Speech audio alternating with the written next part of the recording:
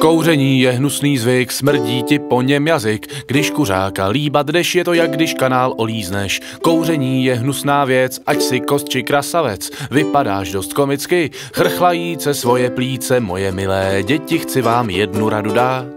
Až budete příště venku s partou zevlovat a přijde nějaký hustej týpek s cígem u pusy, rozmyslím se dvakrát než o jedno řeknu si. Časy, kdy to bylo cool, už jsou historie.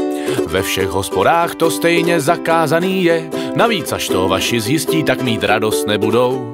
Odneseš si zadnici rudou a zákaz na PlayStation. Kouření je hnusný zvyk, svrdí ti po něm jazyk. Když kuřáka líbat jdeš, je to jak když kanál olízneš. Kouření je hnusná věc, ať si kost či krasavec. Vypadáš dost komicky, chrchlajíce svoje plíce. Nechci ti nic kázat, jasně dělej si co chceš. Jen bacha, ať si v 35 nevzpomeneš Že dal si Mailand, abys dostal rakovinu plic. Což řekl bych, že je jedna spíš těch horších investic a na závěr si dáme trošku pozitivní to, ať už kouříš nebo ne, pořád můžeš být šampion. Navíc jsou tady i horší činnosti, než kouřit snad, třeba fetovat, mordovat či K-pop poslouchat.